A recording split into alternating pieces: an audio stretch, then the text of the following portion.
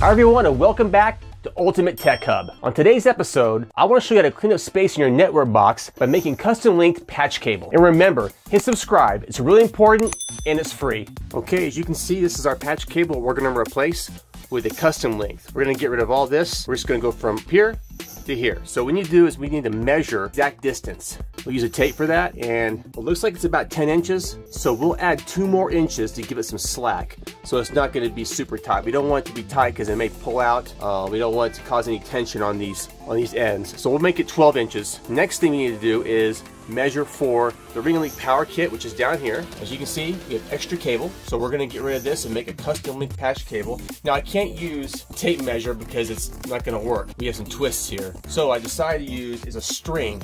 We'll start at the top.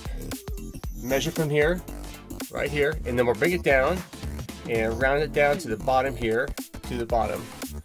And that way it gives us a length. And once again, this is our length. Looks like from here to here. We can always add another inch if we need to. Just We're going to use 23 gauge Cat 6 riser cable to make our two custom patch cables. Let's go ahead and cut our two cables to the length needed.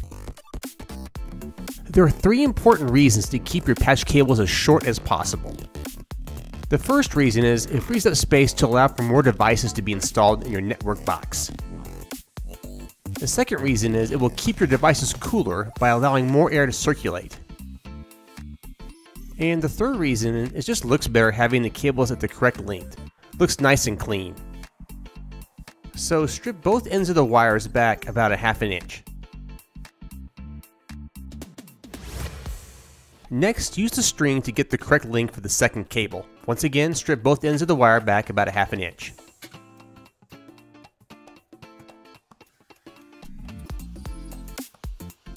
Next, go ahead and separate the four pairs.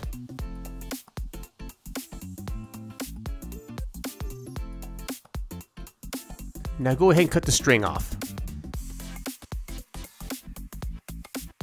Next, untwist all four pairs. Next, organize the wires into the T568B configuration, from left to right. Next, cut the wires straight across. There we go, perfect. Add two boots before you connect the RJ45. Now go ahead and slide the wires into the RJ45 connector, like that. Use the crimping tool to secure the RJ45 connector. To save time, I'm only going to show you how to make one cable, because the process is the same for both cables. I am using the EZ RJ45 connector, as well as the EZ crimping tool. If you're new to making these patch cables, I would recommend both of these.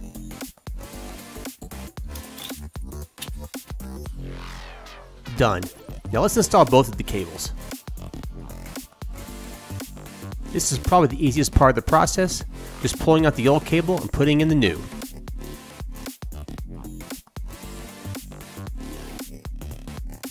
Looks better already.